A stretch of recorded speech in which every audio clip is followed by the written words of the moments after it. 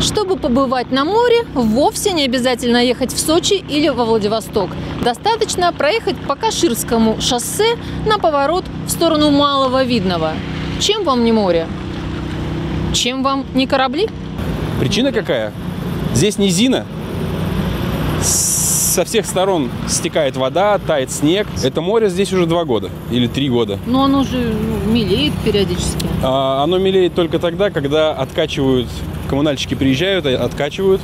Но почему же происходят подтопления? На этот вопрос ответил начальник территориального отдела Картинский Андрей Извеков. У нас есть постановление, есть места складирования, временного складирования снега, да, и есть места утилизации.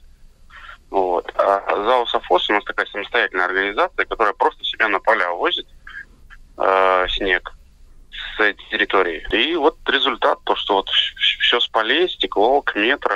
Мы обратились в Минсельхоз, э, я обратился с письмом, да, что нельзя так использовать сельхозземлю. Вот. Мы обратились в Госатомтехнадзор, вот. Э, мы в балансодержателю, я отправил письмо в Росавтодор вот, потому что это региональная дорога, рядом федеральная дорога, не, неизвестно. Вот, зато, ну, как бы, вот если бы не наш, ну, если бы не наша аварийная служба, да, там дорсервис стоял, откачивал помпы, может быть, мы и Каширское шоссе бы затопили. Но огромная лужа на дороге – это еще полбеды. Жители Малого Видного не могут проехать в деревню, не каждый знает пути объезда. Я вот там живу. А вы здесь живете, вы то есть как бы утром откуда выезжали? Я отсюда же и выезжал. А сейчас закрыли. Я понимаю, как-то можно закрыть проезд к дому. Место, на котором я сейчас стою, в общем-то, довольно-таки опасное. В любой момент асфальт здесь может провалиться. А, виною тому а, воды, которые текут внизу. И вот видна уже вот эта вот трещина.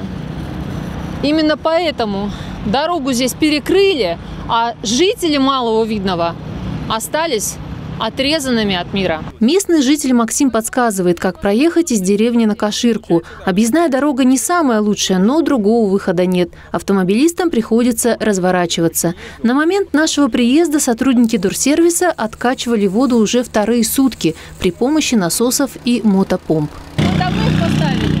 Утром вчера. Вчера. То есть они уже здесь больше суток и да. все еще качают. Куда вода уходит эта откачанная?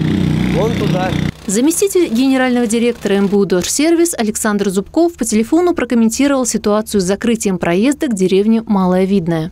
Под землей идет э, ливневая канализация метра.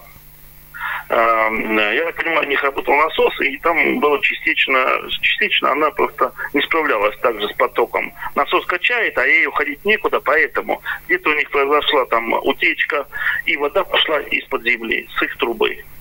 А, было принято решение о закрытии проезда, так как а, была опасность провала асфальта. В течение недели должен решиться вопрос или об открытии данной дороги, или о ее вскрытии для дальнейшего ремонта. Пока же автомобилистам советуют пользоваться другой дорогой. Но руководству совхоза имени Ленина стоит все-таки соблюдать местные законы, а не жить по принципу «нам так удобнее». Татьяна Брылова, Кирилл Иванов, Ольга Садовская. Видно ТВ.